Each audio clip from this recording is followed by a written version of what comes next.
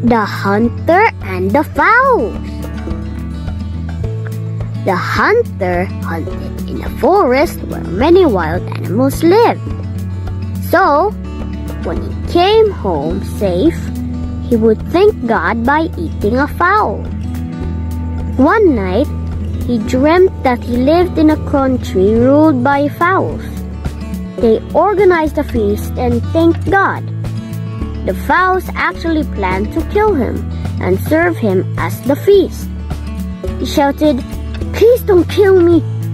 Fowls replied, We are thanking God for protecting us. Frightened hunter woke up and never killed any animal or bird again. Moral! Treat others as you expect them to treat you.